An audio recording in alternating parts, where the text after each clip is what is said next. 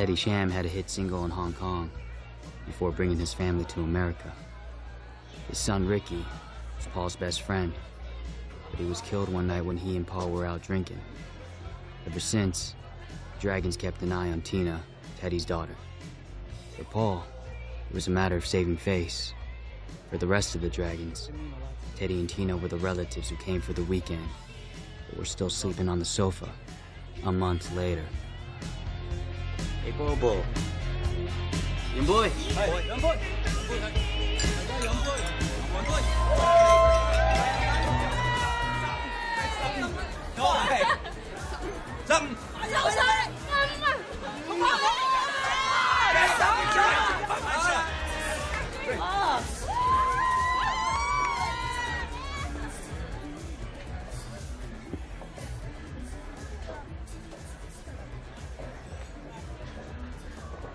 So you came here with your dad, huh?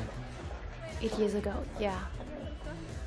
You must get a kick listening to your father sing.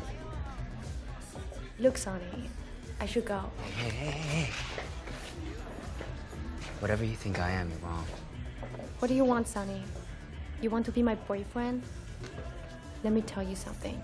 I don't date green dragons. It must be hard living a lie. Pretending to be who you want just so you can fit in. Have a good night.